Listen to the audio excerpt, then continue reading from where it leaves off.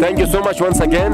And to cut it short once again, I would say that terrorism is no more because this current generation has, uh, you know, they have been raised uh, watching bomb blasts and terrorist activities and they very clearly know that from where all these projects and all these activities have been controlled.